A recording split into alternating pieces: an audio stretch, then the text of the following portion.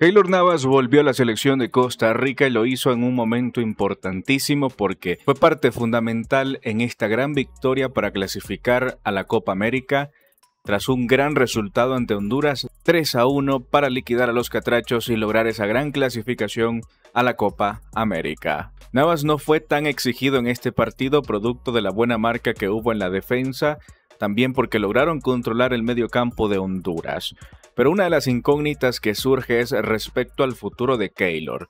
¿Qué va a pasar con el portero costarricense de ahora en adelante con la selección? Pues se hablaba de que si no lograban clasificar a la Copa América, Navas se estaría retirando o haciendo a un lado de la selección.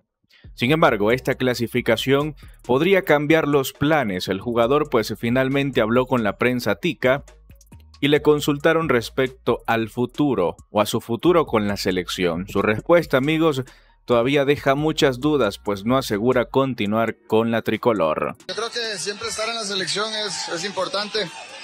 Si bien es cierto, bueno, extrañando a todos los, compañeros que, que, estaban en la selección antes, eh, yo creo que en el ámbito personal es un cambio para uno también, eh, estar con otras generaciones, ellos son jóvenes y creo que que hay que aprender de todo. Es, es bonito, pero bueno, al final lo más importante es que ganamos.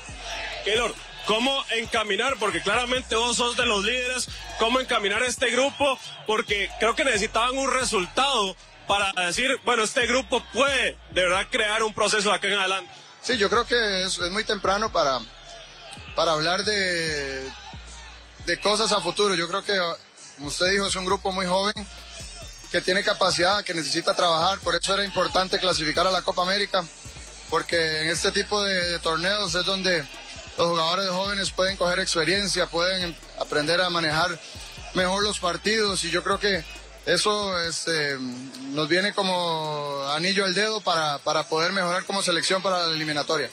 Costa Rica está iniciando con este proyecto con Gustavo Alfaro, el cual obtuvo su primer gran victoria, su primer gran logro, que es clasificar a esta Copa América, pero sin duda alguna, siempre y cuando Keylor esté en condiciones, será muy bueno tener a ese líder en el arco. Pero claro, va a depender de muchos factores y uno de ellos es el equipo con el cual estaría jugando a partir del 30 de junio, que es cuando culmina su historia con el PSG y buscará una mejor oportunidad en otra liga. Así que amigos, Incertidumbre respecto a Keylor Navas. Vamos a ver si para el mes de junio el Tico está en condiciones y podrá seguir aceptando las convocatorias de Gustavo Alfaro. Pero ¿qué opinan ustedes amigos? ¿Les gustaría ver a Navas defendiendo el arco en la Copa América? Déjamelo saber en la caja de comentarios y nos vemos en un próximo video.